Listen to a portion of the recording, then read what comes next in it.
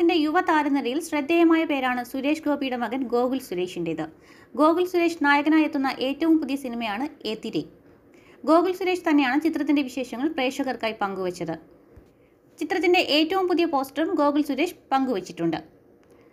അമൽ K ജോബിയാണ് ചിത്രം സംവിധാനം ചെയ്യുന്നത്. ചിത്രത്തിന്റെ തിരക്കഥ ഒരുക്കുന്നത് സേതുവാണ്.